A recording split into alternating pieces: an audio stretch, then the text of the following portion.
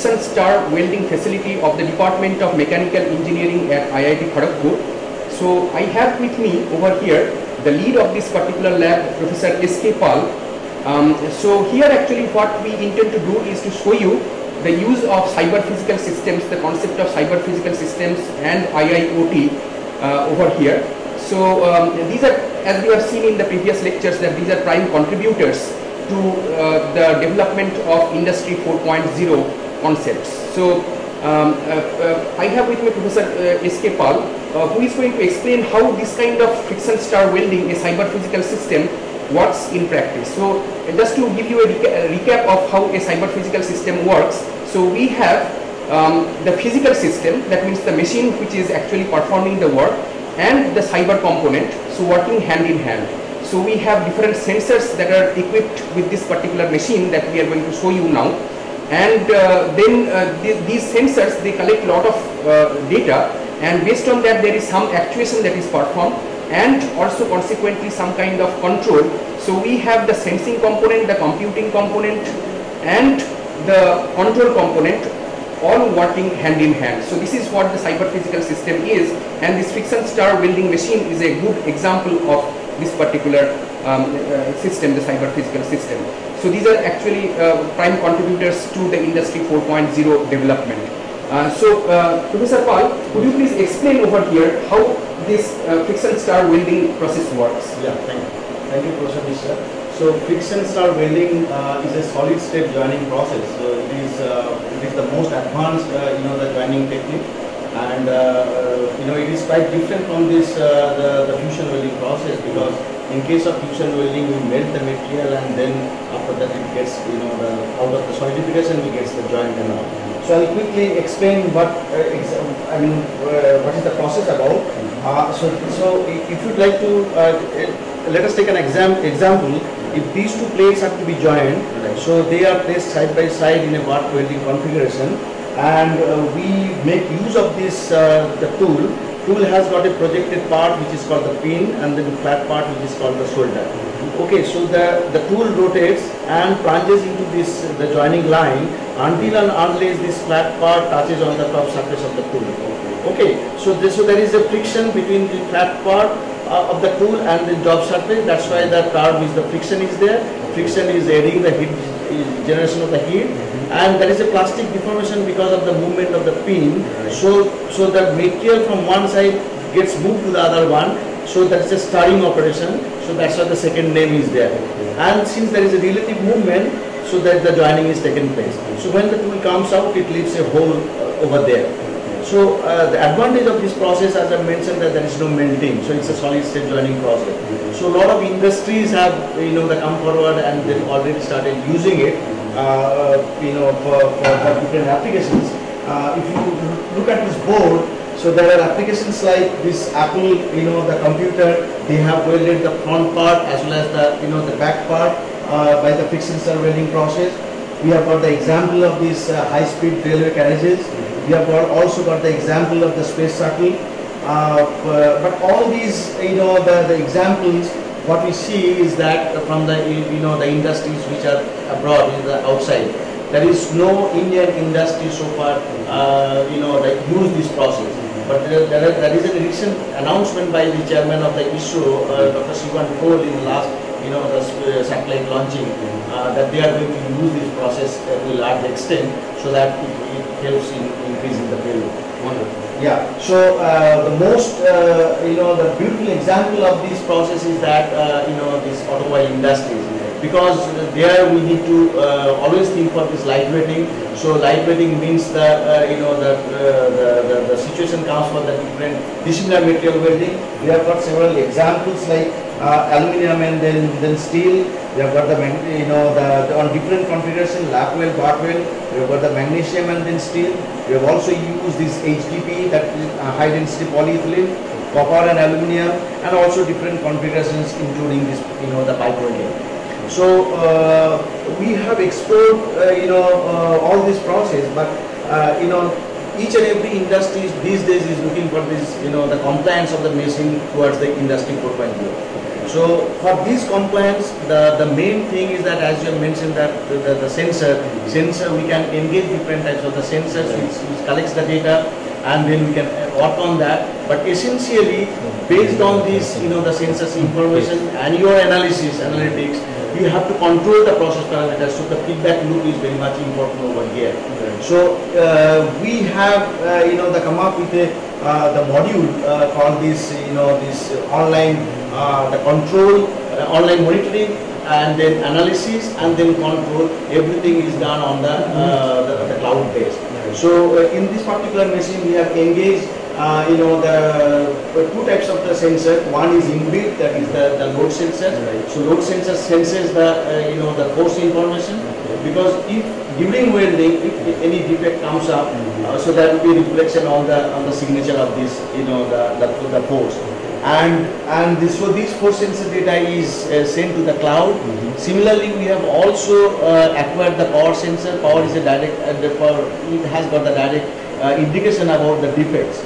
And and also not only the, the defects, you know, we basically mean the type of the defects and also the severity of the defect. So depending on the, the you know the different varieties of the defect, uh, the signature gets changed, and also the severity of the defect, the signature gets changed. So we collected uh, you know the you know the, the of all these informations, and then we have sent it to the cloud. In the cloud, we have got the decision you know the box, decision engine. So, uh, So basically the analytics is performed at the cloud. Part analysis is performed at the cloud. You're Right. absolutely right. And then based on that decision and the, uh, you know, which is taken in the cloud uh, out of the knowledge box existing over there. So the data is, I mean, information is, uh, information comes from the cloud to the machine to change the parameter. Uh, parameter means the welding parameter, the rotational speed and also the, uh, the, the linear speed so that the defect, defect gets. So basically you the accuracy of the job can be controlled with the help of this entire feedback. Yeah, exactly. Because uh, you know, for any manufacturing, uh, the process or any, if you if you like to study the, uh, the the performance of the product and the quality of the product, you always need to study the performance of the machine.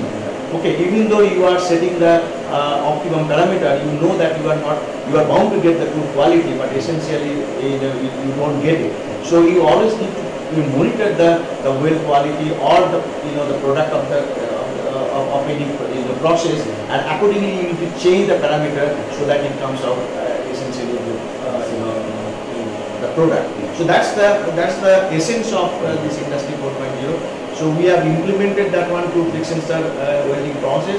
We will have you know the, we are also working on that to a large extent so that uh, different machines can be connected to to the cloud. So, so, so the knowledge of one machine can, can also be the shared by the other machine. Just like the human being, you know, interact in the social media and uh, in, in, in, the social. And that basically serves also the purpose of Industry 4.0 where Yeah, you need to have connectivity between the different Yeah, machines. yeah. Because when you say the industry 4.0, we essentially means that uh, you know the performance of the different types of these, uh, you know, the, the machines, and and also how do they interact with the other people and also the the supply chain line. That means how the uh, you know in which sequence the material is coming up and then going out. So the entire change, starting from the input, the raw material supply to the, the finished product, everything when it is connect, connected, with, you know, the cyber uh, the system, then there will be a good connect between the cyber systems and the physical systems, uh, and that essentially yields a very good uh, industry 4.0 compliant, you know, the, the process. So thank you so much. So can we have a look at uh, Yes, the yes. functioning of this? Uh, yeah, I'll, I'll request one of my doctoral scholars, uh, Mr. Devasis Mishra. So Devasis Mishra works on this, uh, you know, this industry 4.0 uh, the process. Devasis, yeah. So he's Mr. Devasis Mishra. You quickly run, uh, uh, you know, this uh, the machine, and uh, he demonstrate that with the welding process. How the, in, you know, it will it will show the defects, and then essentially over the period of the time, how the defect gets eradicated because when you say, the joining process, it means the assembly of the different components and which which might be uh, processed to the other, you know, the manufacturing the techniques. So the quality, uh, you know, the check on a on on online basis is very very important. Otherwise, there will be the rejection of the entire thing. So I, Devasis, could you please uh, quickly switch on the machine and then demonstrate the process and uh, we'd like to show, uh, please show the uh, how bad quality is getting changed and coming up with a good one. So behind me, what you see over here is a is an indigenous friction stir welding machine, which can do friction stir welding on two different materials. So this particular machine is able to do linear jobs. That means that two different materials it can weld together in a linear fashion. Uh, so I have with me Mr. Uh, Devashish uh, Mishra, who is a PhD scholar in this particular department, and he is going to explain to you how this particular machine works. But before that, let me just tell you uh, that what is the whole purpose of showing this particular machine here. So we have studied about cyber physical systems and industrial IoT. So this is a this is a good example of how cyber physical systems work. So as I told you before that there is the cyber component and the physical component of these systems which work hand in hand. So we have different sensors which uh, basically sense different parameters as Mr. Mishra will be explaining shortly. So these sensor parameters will be taken and there is some computation that is that is done and based on the computation there is some control uh, that is uh, also implemented on this particular system. So the sensing component, the computing and the control working together hand in hand. This is how this particular system works. So this is a good example of a cyber physical system in action. And uh, these types of systems are very much important for uh, industrial environments in the industry 4.0 uh, scenarios. So Mr. Mishra, could you please explain the functionality of this particular machine? Yes, sir. So this is uh, manufactured by ETA Technologies Private Limited and it's a 3-axis friction stir welder. So as you told, it has the capability to join similar as well as dissimilar materials. It has got a maximum rotational speed of 3000 rpm and the maximum traversing speed of 1000 mm per minute. And with this machine, we have inbuilt load cells of 10 kN, 10 kN capacity each. So uh, this gives us the forces in P direction as well as the torque in P direction. And apart from that, we have the speed sensor which senses the rotational speed of the machine during the welding and the traverse speed. So apart from this uh, rotational speed and traverse speed, we have two different parameters as well.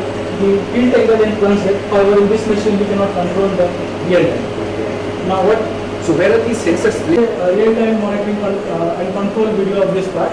So we have here two aluminum plates which are which have been placed very close to each other without maintaining any gap between them. And this is the tool which is going to uh, weld these two materials. So we have two materials which are aluminium and this particular tool is a steel tool. Yeah, this is H13. Okay. It's a chromium hardened tool steel Okay. uh, which has been fabricated as per the dimensions of the workpiece. So the thickness of this material is 2.5 mm. So we have a pin which is of length 2.2 mm and this is the uh, pin diameter is 5 mm and we have this shoulder of 13 mm diameter. Okay. Yeah. Can we see how it works? Yes.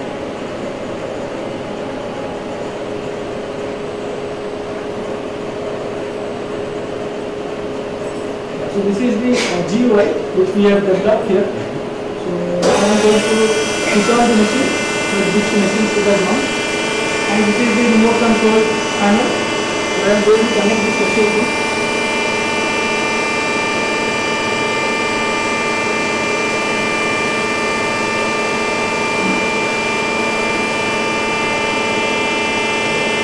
So I am trying to connect this machine to my laptop. Okay. This is a remote control.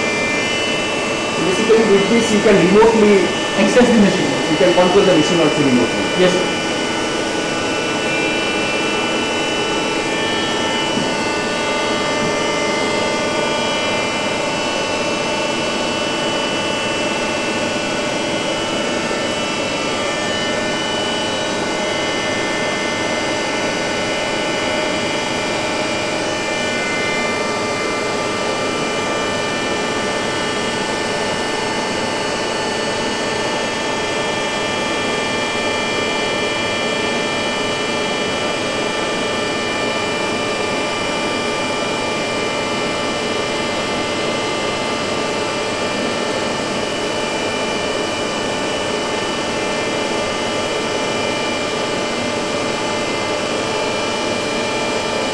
So here initially uh, we have set the rotational speed and traverse speed in such a way that we are bound to get some bad weld.